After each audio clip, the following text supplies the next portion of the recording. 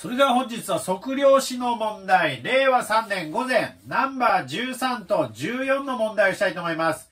13の問題は標準偏差を求める問題です。14番は細部測量、えー、細部測量 GNSS を使った細部測量についての問題になりました。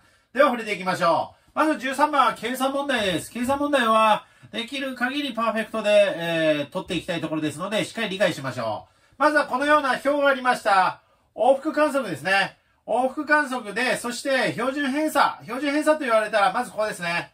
残差の2乗の平均の平方根。まずそれを頭に浮かべることが重要です。残差の2乗の平均の平方根。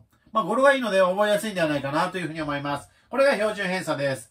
では、標準偏差。まず残差の2乗の平均の平方根なんで、残差を出します。往復観測なので、往路袋。まあ、測量に誤差はつきものだというふうに考えればいいと思います。えー、同じところを測ってますので、えー、高低差。ね、こっちはマイナス3.1548だったので、こちらもプラス3.1548になるはずですが、誤差がつきもだったね。これとこれの差が残差ということになります。で、それがそれぞれメートルで出たのミリメートルで出していきました。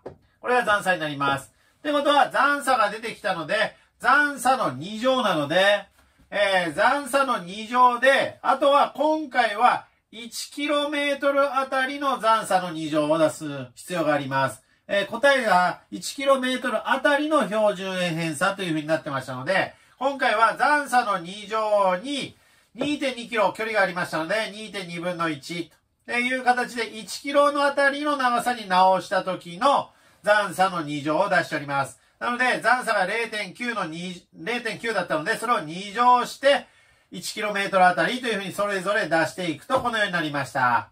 ということで、これが残差の2乗になります。残差の2乗が出てきた。これ平均するためには5つデータがありますね。5で割る。これを平均すると0.55というふうになってました。残差の2乗の平均まで終わりました。次は平方根です。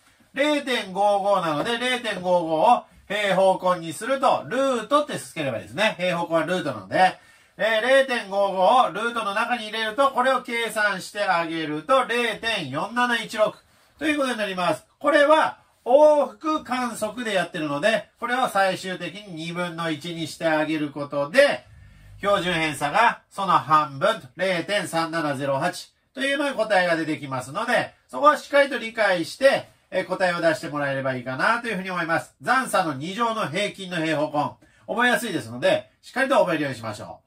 では次です。14番。14番は、細部測量です。GNSS の細部測量。ここを区別して覚えればいいと思います。地形事物の測定。これ細部測量です。最も重要なことですね。で、それともう一つ。TS 点の設置。新点ですね。TS 点の設置を区別して覚えると。ということは、この GNSS でどうするかっていうと、観測に差が出てきます。地形事物の場合は1セットの観測で OK だということでした。